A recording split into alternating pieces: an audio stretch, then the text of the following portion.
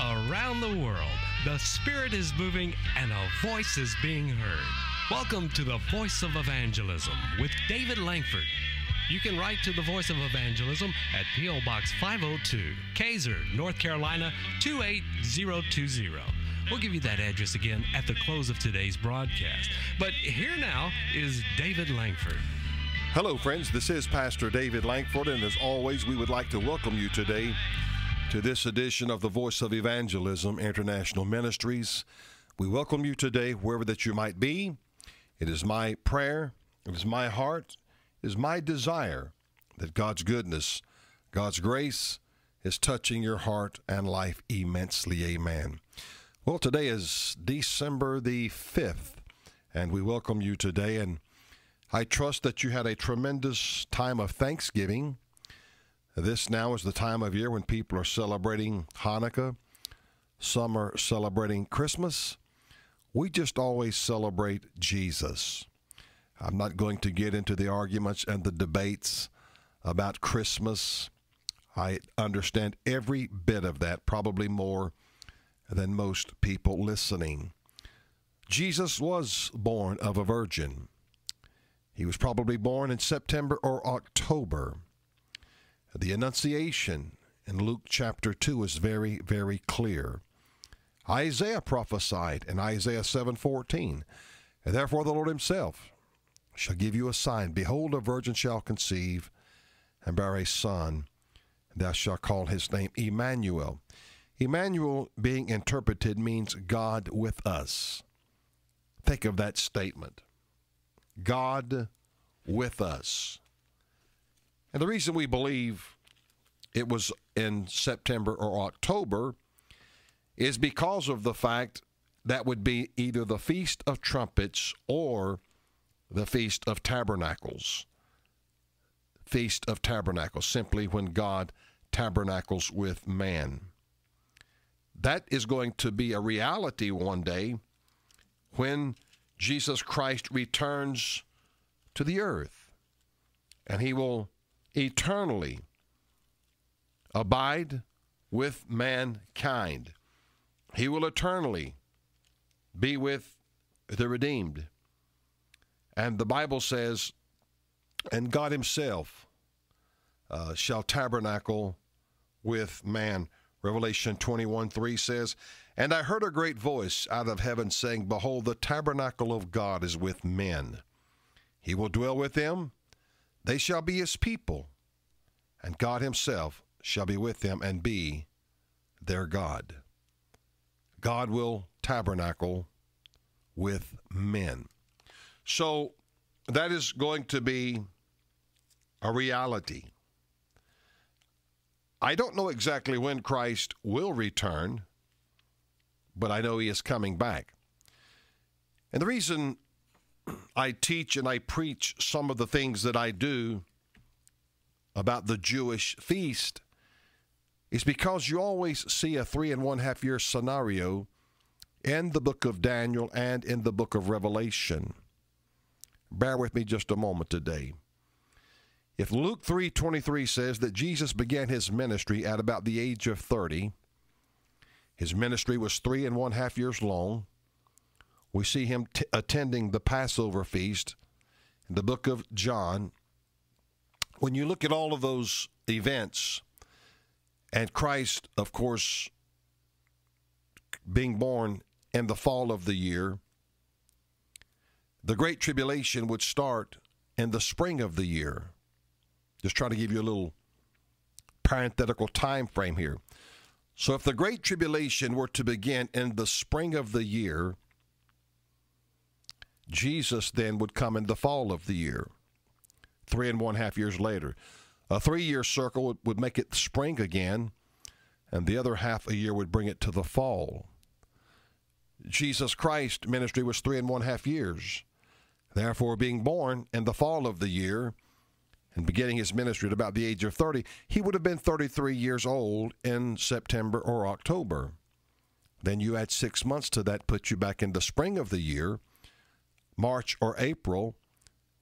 Therefore, his ministry was three and one half years, and he died fulfilling Passover. So, all of these Numbers, all of these events are in the scriptures. It is just up to you and I as Bible students to study, to study the scriptures and to dissect them that we might fully understand what's going on. Before we go into the scriptures today, because I'm here today to encourage you, I want to simply strengthen your hands. I want to strengthen your feeble knees. I want to strengthen your weary mind. I am here today for this program to comfort you through the Holy Scriptures, to minister to you, to strengthen you, because not only myself, but God the Father wills that you be comforted. He's a God that loves us so immensely and so powerfully. And when we are grappling and struggling, He wants us to know He's with us. He wants you to know, I'm with you, saith the Lord. You're not by yourself. You're not in this valley alone. The psalmist here in Psalms 46, verse 1 says, God is our refuge and strength, a very present help in trouble. Therefore will not we fear, though the earth be removed, and though the mountains be carried into the midst of the sea, though the waters thereof roar and be troubled, though the mountains shake with the swelling thereof. Selah. Without a doubt, many of you listening to this broadcast today in the not too far distant past, you have suffered excruciating pain. The pain has been unfathomable. It's been formidable. For some, for the most part, it's been more than you could bear. Satan has sought to wreak untold havoc in your life. Maybe those of you listening today, and there are some, you've lost a loved one.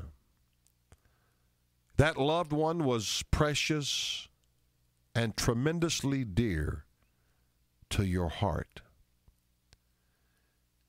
Having been a minister for nearly 40 years and having preached scores of funerals, I'm always smitten and stricken profusely in my heart and in my mind with humility.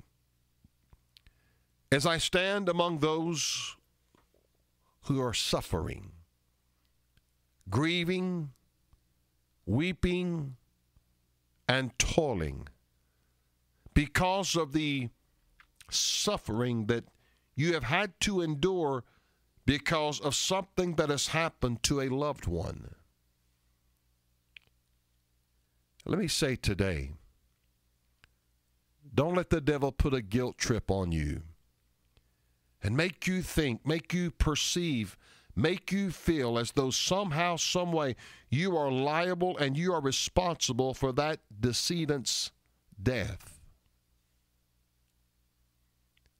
Every day people make choices.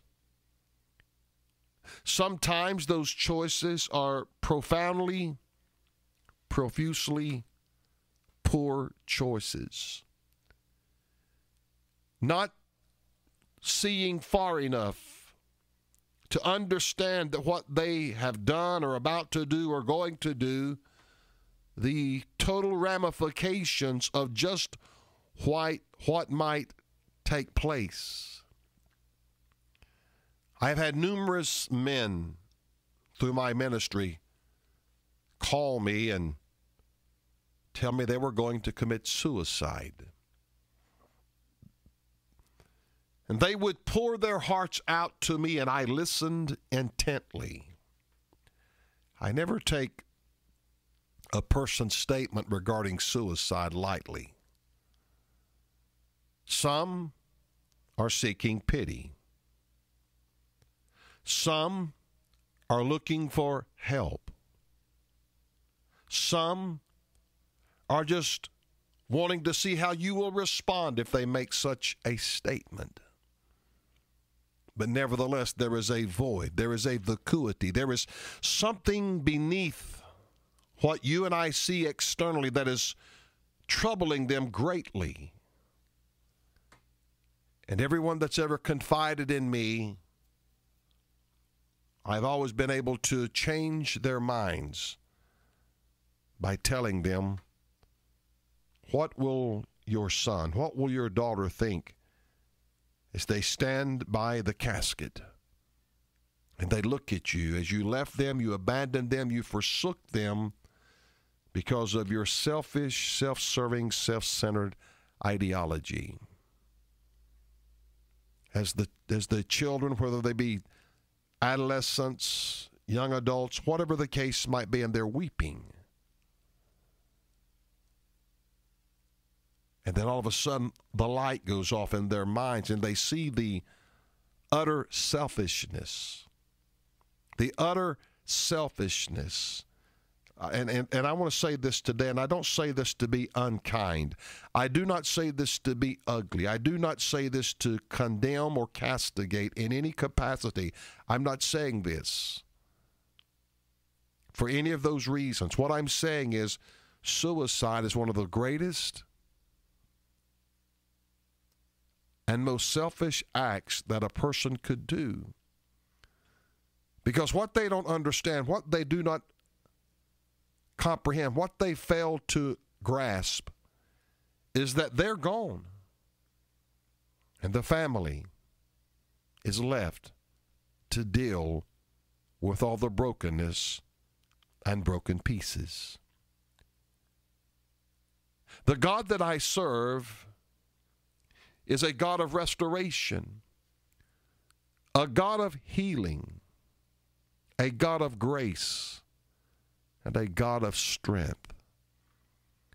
Jesus told us in John 10 10, For the thief cometh not but for to steal, to kill, and to destroy. But I have come that they might have life and that they might have it more abundantly. Jesus Christ wants every one of you listening today to have an abundant life.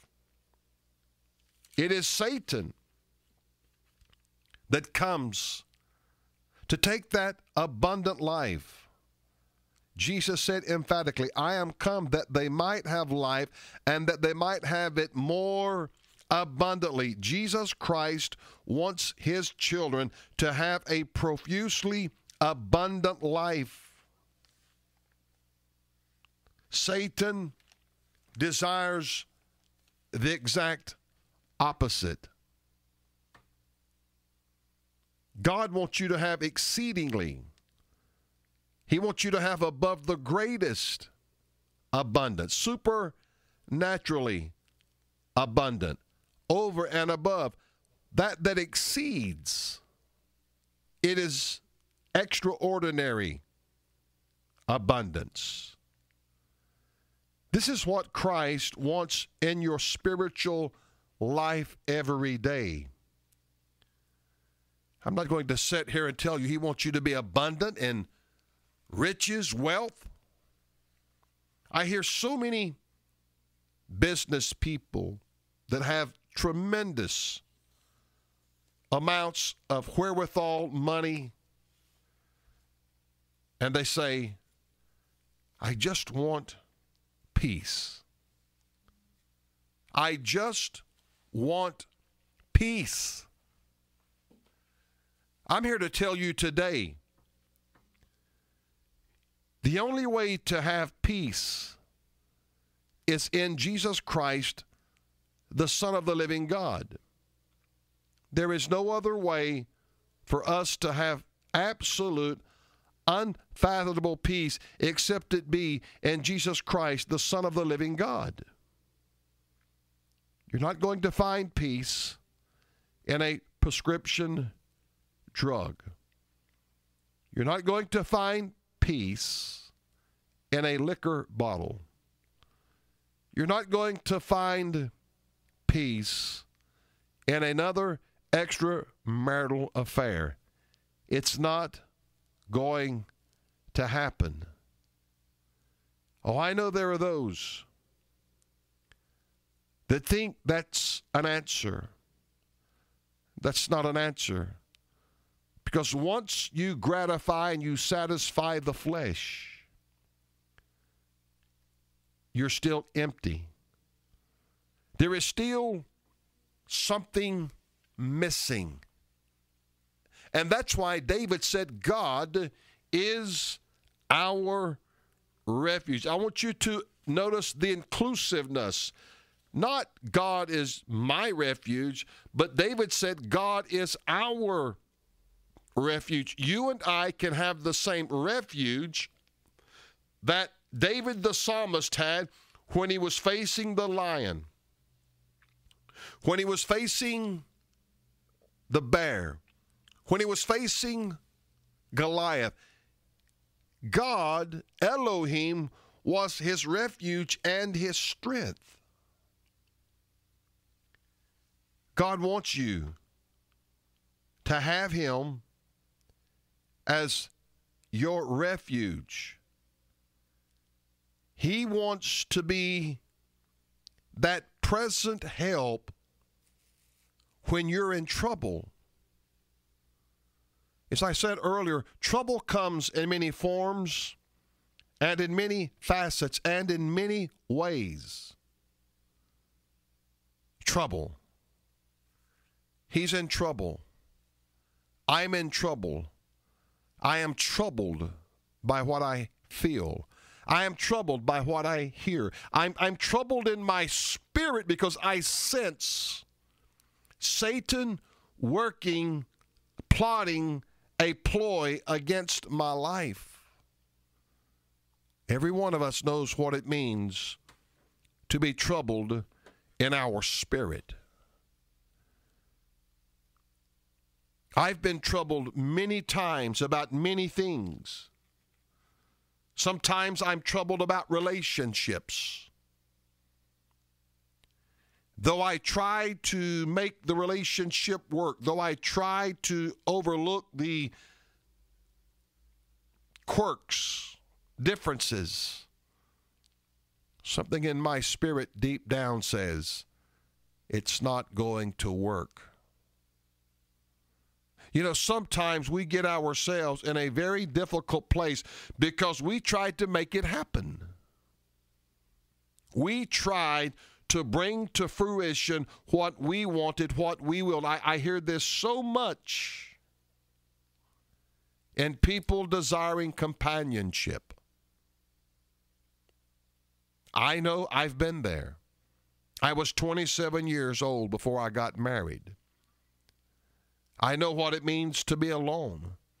I know what it means to be traveling every week as an itinerant evangelist, traveling across many, many states, preaching the gospel of Jesus Christ, the Son of God, and just desirous for companionship. It was God that said, It is not good that man should be alone. It wasn't a man that said that, it was God that said that. God said that. And sometimes we treat, we try to create a circumstance or a situation to satisfy, to gratify our flesh. Why? Because we are so adamant. We are so ardent. We are so unyielding. We want it to work this way, God then what you are doing is negating God's power to be your refuge. Because when God is your refuge, a refuge is to a place which one flees. It's a place where someone goes for safety. It is a place where someone goes for security, for protection, like a, a, a, a, a cellar, a basement, a tornado uh, cellar, a place of protection because of the tempest, because of the storm. And you know, if you can get in that place of refuge, no matter how vehement, no matter how ferocious the storm and the tempest, you know you can endure it. And once the storm has passed, you'll be all right. because you were in a place of refuge. I'm not talking about physical storms, I'm talking about spiritual storms. As we get older, we all face physical anomalies and aberrations.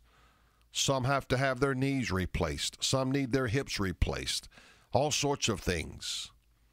I'm not talking about your humanity. I'm talking about your spirituality. I'm talking about the devil as he shoots fiery darts from hell, trying to invoke something upon your life that will cause you to become distraught, distressed, perplexed, finding yourself seemingly in a strait where there's no way out. This is when we believe Psalms 68 1 let God arise and our enemies be scattered. It's like a child running behind its mama and getting hold of her skirt. That child seeks the refuge of that mother or that dad for that matter. They run behind that, that 18 inch, two foot tall little child runs behind the legs of a parent, believing the parent will protect me from this dog or this individual that comes in talking rough with a gravelly voice. And they hide behind the parent. And that loving parent will protect that child. That's what God is to you and I. He's a loving father. We are his children. I don't care if you're 80, 90, even 100 years old listening to this broadcast. You are a child in the eyes of God. You're but a poor,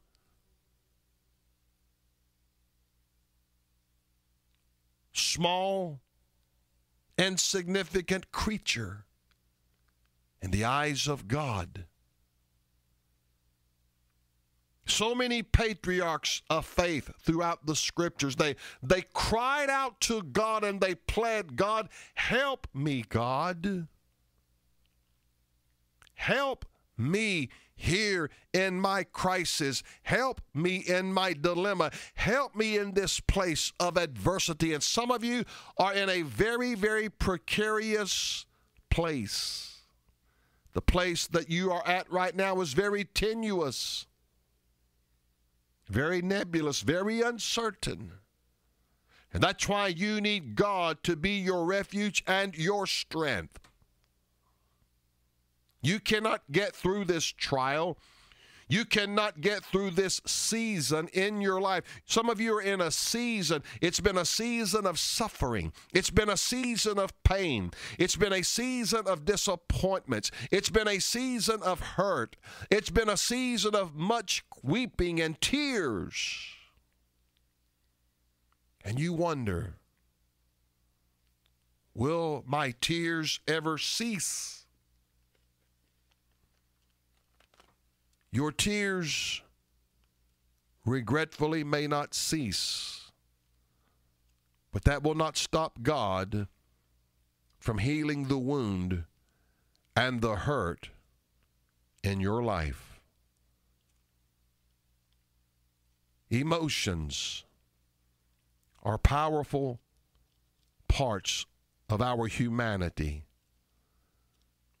people talk about happiness. Happiness is really fundamentally based upon happenings. Whatever's happening makes you either sad or happy. I'm not talking about happiness, I'm talking about having peace and joy and comfort in the Holy Ghost. This is what I'm talking about. It was just some years ago when I fully understood the psalmist in Psalms 31:15, he said, "My times are in your hand." And I grasped that understanding one day that every time in David's life was in God's hand. For instance, there's a woman or, or women in general there's a time of being a child playing with dolls and playing house and pretending as though they're cooking. And then they grow up and become a teenager begin to date. And then they marry. And then they bear children. And they're not playing with dolls then, they're playing with their children. You see how the times have changed from playing with a doll to playing with a child? Then that child grows and matures, and that child has children, and now the mama is a grandmother. It is a different time in her life. David said, My times are in your hand. No matter where you might find yourself, it is a particular time. Ecclesiastes chapter 3 is one of the most profound discourse of time that has ever been penned or written by mortal man under the unction, under the anointing of the Holy Ghost, because it is it is so profound. Uh, Ecclesiastes three and one: to everything there is a season and a time to every purpose under heaven. There's a season and there is a purpose. I want you to get those two words. There is a season and a time to every purpose, a season and a purpose. You may not like the season, you may not like the purpose. But there is a purpose and a season why you are where you are. Solomon said there's a time to be born, a time to die, a time to plant, a time to pluck up that which is planted, a time to kill, and a time to heal, a time to break down, a time to build up, a time to weep, and a time to laugh, a time to mourn and a time to dance, a time to cast away stones, a time to gather stones together, a time to embrace, and a time to refrain from embracing, a time to get, a time to lose a time to keep, and a time to cast away, a time to rend, and a time to sow, a time to keep silence, a time to speak, a time to love, a time to hate, a time of war and a time of peace. What profit hath he that worketh in that wherein he laboureth? I have seen the travail which God hath given to the sons of men to be exercised in it. He hath made everything beautiful in his time. Also, he hath set the world in their heart so that no man can find out the work that God maketh from the beginning to the end. I know that there is no good in them. But for a man to rejoice, to do good in his life, and also that every man should eat and drink, and enjoy the good of all his labor it is the gift of God. I know that. Whatsoever God doeth, it shall be forever. Nothing can be put to it, nor anything taken from it. And God doeth it, that men should fear before him. That which hath been is now, and that which is to be hath already been, and God requireth that which is past. A time. Right now, for many of you, this is a time wherein you need God to be a refuge, a place to flee to, a pavilion, a high tower, a high and lofty, inaccessible place where God will put you where the devil cannot get to you and touch you. Make no mistake about it. Satan is drooling to touch us. Why does he want to touch us? Why does he want to harm us so much? Why does he seek to damage and ruin our lives? Because he's a thief. He steals, he kills, he destroys, he maims, he blinds, he amputates, he destroys. He's the personification, he is the embodiment of wickedness. And he seeks to encroach your life. And I've said this in the last year, and I will say it again today. If Satan cannot get to you, Satan will work through someone very, very, very close to you. I know what I'm talking about. Satan sees your strength. He sees your loins as they are girded about with truth. He sees that shield of faith that you hold up and the sword of the Spirit, which is the Word of God. And he knows he cannot conquer you, he cannot defeat you, he cannot overcome you because he sees greater is he that is in you than he that is in the world. So, what does Satan do?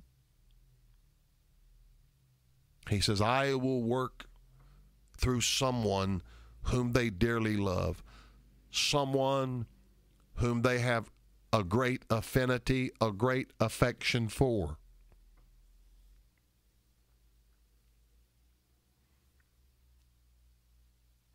God is our refuge and strength. I want you to notice the phrase, a very present help in trouble. When I am present, that means I am there. You remember in school, the teacher would call roll, go through the names present or here, one of the two statements. What does that mean? I'm in the presence of the teacher. I am there. I am accountable. I am here. I've arrived. You see, God is a very present help. God is already right where you are. God didn't go anywhere when the devil came to oppose you. God didn't leave and take flight and go on vacation and abandon you. He is still right there where you are because He's a present help. It is we, regretfully, that walk away from His presence. It is we, regretfully, who get distracted, who become encumbered with the cares of this life. Luke 21 34, Jesus said, Take heed to yourselves, lest at any time your heart become overcharged with surfeiting and drunkenness and the cares of this life, so that day come upon you unawares. You need to look at yourself. Where are you right now? Are you in God's presence? Is God your refuge? Have you entered into that pavilion, that high and lofty, inaccessible place where God can put you and Satan cannot even get close to you?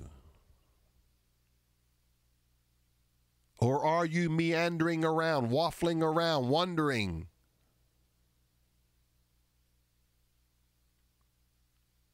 God is a place to which one can can flee to and hide themselves. We can hide ourselves and God. hide yourself in Jesus Christ, the Son of God. And yes, maybe where you are right now is a, a time to rend. It is a time when there's a tear, there's a rent in your garment, the garment of your life. The garment of your life. You see, it is emphatically beyond any man's power to alter the seasons. I cannot change this time of year. We're about to go into winter. I cannot make this season I cannot make this season of winter spring. I can't do it. I cannot make December, January, February when it's cold and snowy and rain. I can't make it the summertime. It's beyond my power to alter the seasons.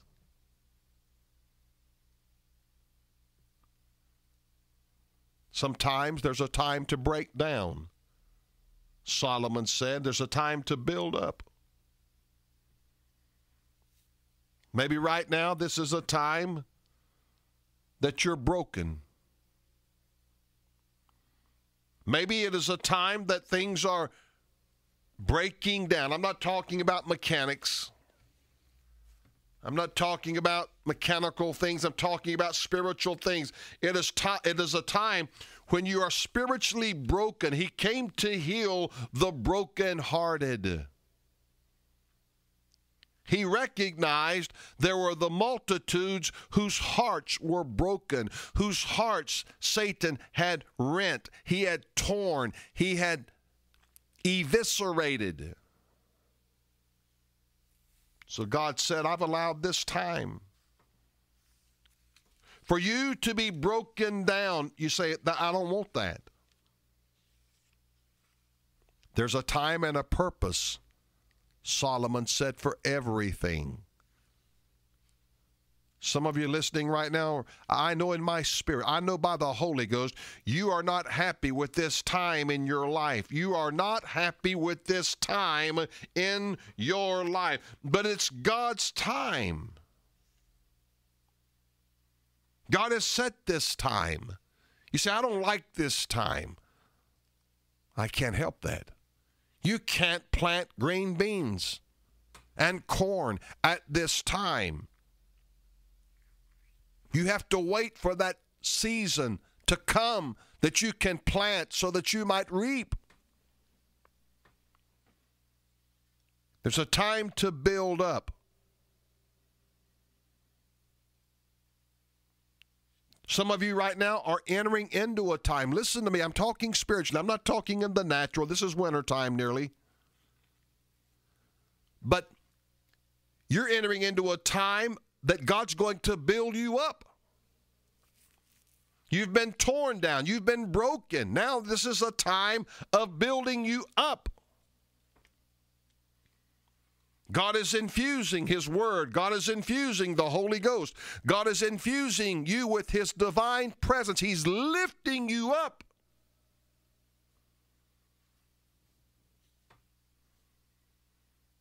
There was a time for Nehemiah to build the walls. This may be a time right now when God is building a spiritual wall around you because the enemy is going to try to come and attack you, and God already sees the future. So God is building a wall to protect you. Every one of us, at certain times, we all need to be built up in our spirit. We need to be encouraged. We need to be strengthened. We need to be edified. That's why I preach the Word of God. I want you to be edified. Like one lady said to me some time ago, she said, I don't always like what you preach. She said, but I know it is the truth. I know it is the truth. The psalmist said in Psalms 102 and 12, But thou, O Lord, shalt endure forever, and thy remembrance unto all generations. Thou shalt arise and have mercy upon Zion, for the time to favor her, yea, the time is come. The time has come. See, when that time comes to build you up, the devil can't stop it. God says you've been torn down, you've been broken down, you've been weeping. Psalms 30, verse 5 says, Weeping may endure for a night, but joy cometh in the morning. God says, I've watched, I've witnessed your weeping. I'm going to turn your weeping into joy. I'm going to turn your sorrow into gladness. Does that take away the hurt? No. Does that take away the remembrance of that sorrowful time? No, but that's how you are able to appreciate the good times. That's how you're able to appreciate the times of blessing. I would never fully understand joy unless I fully experienced sorrow. I, I, listen, these preachers have mixed people up. They've messed people up. They've preached so much garbage that all you're to ever experience, all you are to ever know is joy, joy, joy, joy, joy, grace, grace, grace, grace. That's not the real world. Elijah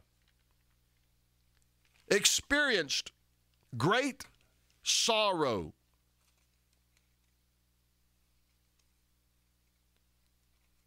Those of you listening to me, there are times in your life you have faced great sorrow, but because you have understood, you, you, you understand the sorrow because now you are experiencing the joy of the Lord. Nehemiah 8:10, the joy of the Lord is your strength. Had you not known the sorrow, you could not understand the joy. John 16 and 21, a woman when she is in travail, hath sorrow, because her hour or her time is come.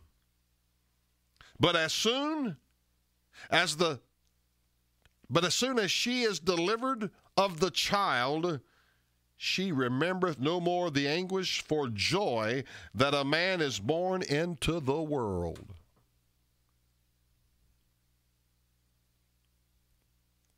I want you to think about that statement, whether you're a woman or a man. You've been toiling, you've been laboring, you have been suffering, you're You've been injured, you have been harmed, you have been pierced, you have been riddled, you have been perforated.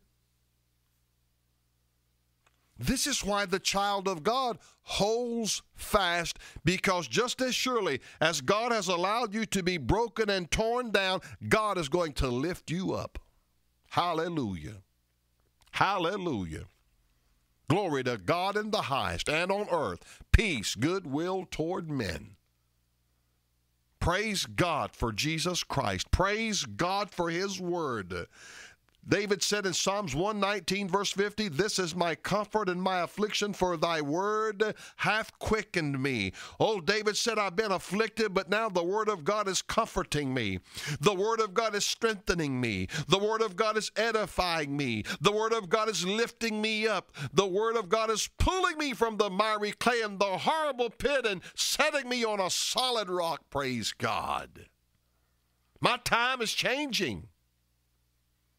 My time is changing. Your time is changing, my friend. Most of you know I don't preach like this, but all day today is I've been meditating and saying, God, give me what to say. Put it in my spirit, put it in my heart. I don't have one note here in front of me. I, all I've got is the Bible in front of me today. Why? Because I said, God, help me to strengthen your people, unctionize me, anoint me with the Holy Ghost to touch your people and comfort them today. Psalms 119, verse 71, David said, It is good that I have been afflicted, that I might learn thy statutes. Because I have been afflicted, I can now appreciate the blessing of the Lord. If I never had afflictions, if I never had adversity, if I never had tribulation, if I never had pain, if I never had sorrow, I would never fully understand and appreciate the blessing of the Lord. God has given America a parenthetical time of reprieve. It won't last long. We may be in a third world war with North Korea. They're firing the missiles, and the last missile fired just the other day last week, as a matter of fact. Went, it flew for 50 some minutes. They know now they can reach every part of the United States of America. All they need is to figure out how to load it with nuclear weapons and the re entry, the re entry mechanism so it can do what they want it to do.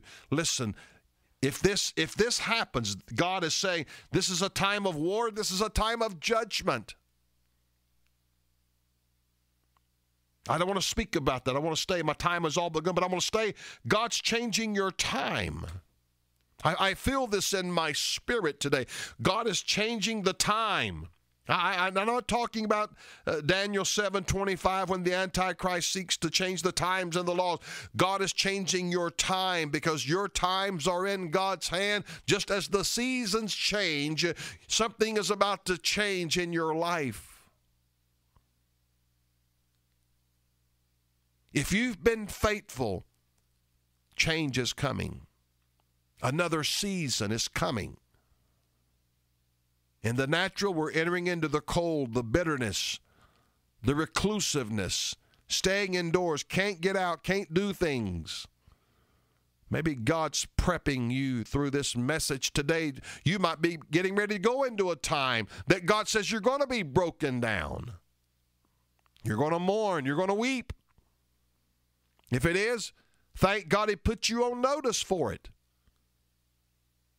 It won't catch you unsurprised. You won't be caught off guard. God is speaking to people today. Many of you, He's speaking to you. He's speaking to you in, in different ways because everyone is not in the same place or time frame. No two people the only way that two people I can perceive would be those that are married and you're going through this time together as one.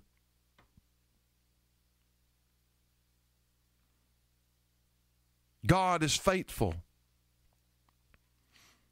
David said in Psalms 37 25, The steps of a good man are ordered by the Lord. Though he fall, he shall not be utterly cast down, for the Lord upholdeth him with his hand. I have been young, and now am old. Yet have I not seen the righteous forsaken, nor his seed begging bread.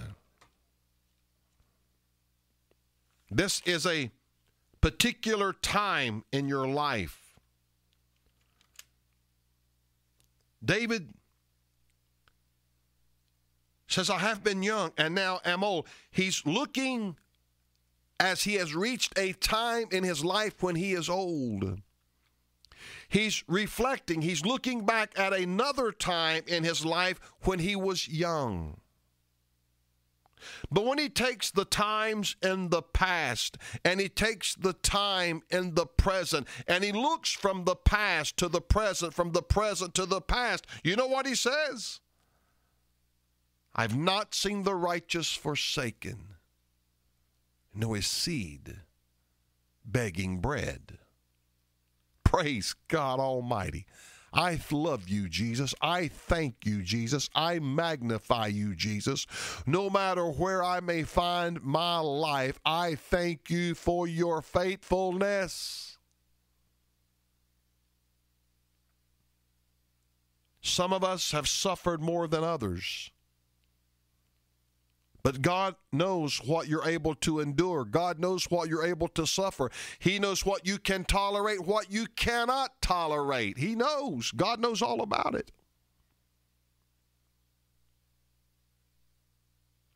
1 Corinthians 10 13, Paul said, There hath no temptation taken you, but such is as common to man. But God is faithful, who will not suffer you to be tempted above that you're able, but will with the temptation also make a way to escape that you might be able to bear it. That's where you hear people say, God will never give you more than you can bear. God will get you through this because your times are in His hand. Your times. I cannot change the seasons. They, they, they will last. Uh, for that fact, summer, winter, spring, fall, heat and cold is going to last forever until we see a new heaven and a new earth according to the word of God. That's what the Bible tells us. Genesis 8:22 while the earth remaineth seed time and harvest and cold and heat and summer and winter and day and night shall not cease. The natural seasons are engraved all the way through the millennial reign of Christ, and I can't say afterwards because John said, I saw a new heaven and a new earth. For the first heaven and the first earth were passed away, and there was no more sea. And Revelation chapter 21, verse 1. So I, I don't know what it will be after the thousand year millennial reign of Christ, but I know this your time is in God's hand. God bless you. We love you. May the words of your mouth and the meditation of your heart be acceptable unto the Lord God of Abraham, because my friend, he will embrace that. Psalms chapter 19, verse 14. Read that again. God bless you. The Voice of Evangelism with David Lankford is brought to you by the faithful listeners and supporters throughout America. If you're looking for an uncompromising message, we invite you to tune in each week to the Voice of Evangelism. For more information, write to the Voice of Evangelism at P.O. Box 502, Casar, North Carolina 28020. That's P.O. Box 502, Casar, North Carolina 28020.